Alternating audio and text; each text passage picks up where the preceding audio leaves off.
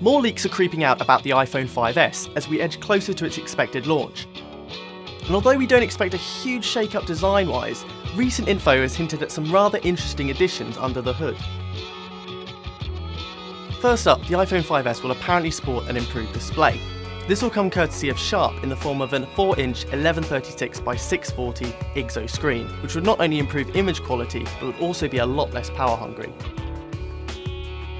New info accompanying some alleged production shots suggests the 5S will also have NFC, which has been a long time coming for the iPhone, and a 12 megapixel camera with dual LED flash. Although we wouldn't take this as gospel for the time being, it isn't anything beyond what we've already heard. Still, perhaps most interesting is fresh evidence pointing towards the next iPhone having some form of fingerprint scanner.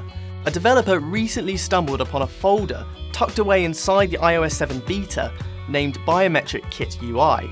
Rumours that Apple has been looking to introduce biometric scanning into the iPhone have been doing the rounds for some time now, so you wouldn't be particularly surprised if this were true. Looking further ahead to the iPhone 6 now, and although details remain sketchy at best, recent patent filings suggest the company is looking to create the world's first liquid metal handset.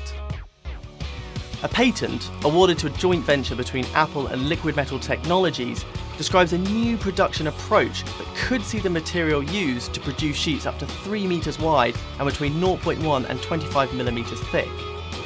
Although we have no clue when the iPhone 6 will see the light of day, production of the iPhone 5S is rumoured to begin this month, with the expectation that we might see it launched alongside the plastic body budget iPhone this autumn. Stay tuned to techradar.com for more updates on the iPhone 5S and iPhone 6, and as always, don't forget to subscribe for all our latest and greatest tech news.